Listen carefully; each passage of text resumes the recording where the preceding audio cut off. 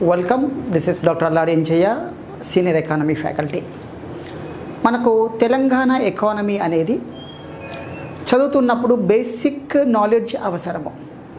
ఈ బేసిక్ లేకుండా మనం ఏ రకంగా ప్రిపేర్ అయినా కూడా ఎగ్జామ్లో ఇబ్బంది పడుతుంటాము. అది ఇక్కడ బేసిక్ నాలెడ్జ్ అంటే ఏమిటి అనేది ఒకసారి తెలుసుకుందాము. ఇక్కడ బేసిక్ నాలెడ్జ్ అనగానే ఫస్ట్ మనము మన రాష్ట్రము యొక్క ఎకానమిక్ స్టేటస్ అంటాం. అంటే ఎకానమిక్ స్టేటస్ అంటే రాష్ట్ర ఆర్థిక స్థితిగతులు తెలుసుకోవాలి. రాష్ట్ర ఆర్థిక స్థితిగతులు. ఈ ఎకానమిక్ స్టేటస్ తెలుసుకునే ముందుగా ప్రధానంగా మన రాష్ట్రం యొక్క అడ్మినిస్ట్రేటివ్ స్టేటస్ ఎలా ఉంది అంటారు. అంటే దిస్ ఇస్ కాల్డ్ పరిపాలనా సౌలభ్యం కోసం చేసిన అంశాలు. వీటిని మనం పరిపాలనా డివిజన్లు లేదా పరిపాలనా విభాగాలు అని తెలుసుకుంటాం. అంటే ఈ పరిపాలన విభాగాలు అనేవి ప్రాపర్గా అర్థమైనప్పుడు వీటికి సంబంధించిన ఆర్థిక స్థితిగతులు కూడా అర్థమవుతాయి.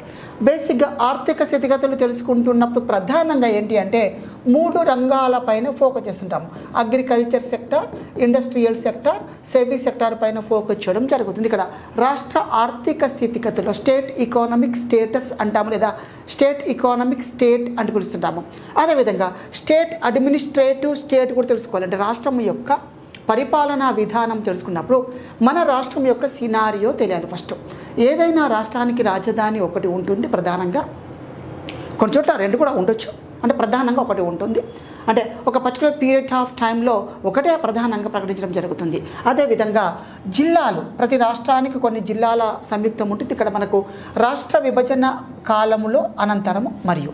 ప్రజెంట్ సినారియో చెప్తున్నారు. అంటే ఇక్కడ ఎలా ఉందంటే రాష్ట్ర విభజన కాలంలో పరిపాలనా సౌ సౌలభ్యత కోసమని పది జిల్లాలుగా ఉన్న మన ఎకానమీ మన రాష్ట్రాన్ని ముప్పై మూడు జిల్లాలుగా పెంచడం జరిగింది. అంటే ఎగ్జాక్ట్ ఎలా అంటే మనం ఒక టూ టైమ్స్ మనం పెంచడం కదా పదిని బట్టి ముప్పై చేశారు.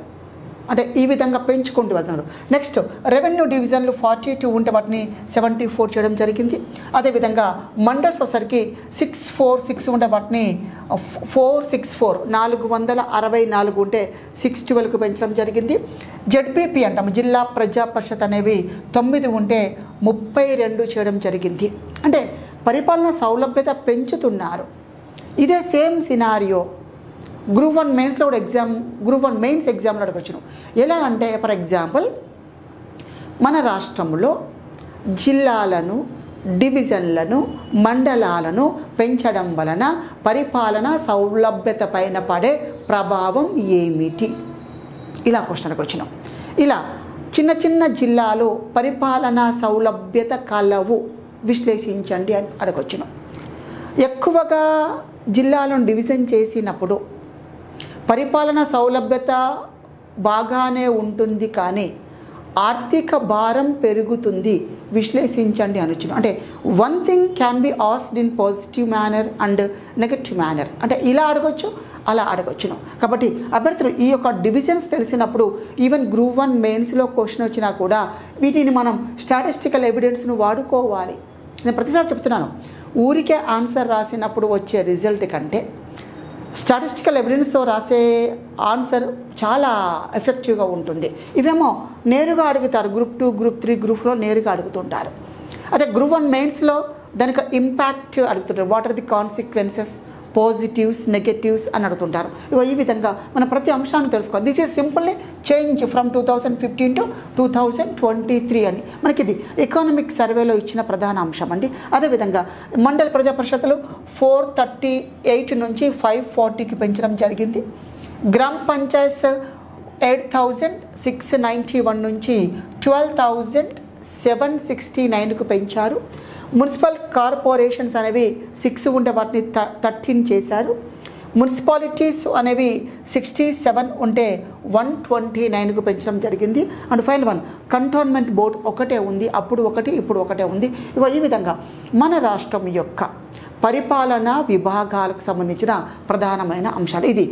గ్రూప్ టూలోను గ్రూప్ త్రీలోను ఈవెన్ గ్రూప్ ఫోర్లో కూడా ఇంపార్టెంట్ టాపిక్ ఈ అంశాలు మనం ప్రాపర్గా నేర్చుకోవాల్సిన అవసరం ఉంటుంది. ఇగో ఇది ఇలా ప్రతి టేబుల్ని విశ్లేషణాత్మకంగా వెళ్ళాలి. అంటే ఫర్ ఎగ్జాంపుల్ ఇక్కడ ఎంత శాతం పెరిగినాయి ఎన్ని రెట్లు పెరిగినావని అడిగే అవకాశం ఉంది. కానీ ఇక్కడ అడిగారండి. అది అగ్రికల్చర్ ఇండస్ట్రీ సర్వీస్ సెక్టార్లో అడిగే అవకాశం చాలా ఎక్కువ ఉంటుంది. నేను ఆ టాపిక్ తీసుకున్నప్పుడు మీకు మళ్ళీ ప్రధానంగా వాటిపైన ఎక్స్ప్లెయిన్ చేస్తూ ఉంటాను. ఇక్కడ ఎలా అంటే స్మార్ట్గా మనం చదవాలి థింకింగ్ ఎక్కువ చేస్తూ ఉండాలి. అదేవిధంగా కంపారిజన్ అనేది ప్రాపర్గా ఉన్నప్పుడు మనకు అర్థమైపోతుంది. రీసెంట్లీ ఒక ఎగ్జామ్లో ఇది గ్రామ పంచాయతీ నెంబర్ అడిగినట్టు ఉంది. ఇలా ఇలా క్వశ్చన్ కూడా ఇలా అడుగుతూ ఉన్నారు. దిస్ ఇస్ వెరీ ఇంపార్టెంట్ అంటే ఇది తెలియకుండా మనకు రాష్ట్రం యొక్క ఆర్థిక స్థితిగతులను కూడా ప్రాపర్గా అంచనా వేయలేము. కాబట్టి ఇది తెలుసుకున్నాక ఆర్థిక స్థితిగతులు. నెక్స్ట్ వీడియోలో మనము రాష్ట్ర ఆర్థిక స్థితిగతులు అగ్రికల్చర్ ఇండస్ట్రీ సర్వీస్ సెక్టర్ పైన ఫోకస్ చేద్దాం. Thank you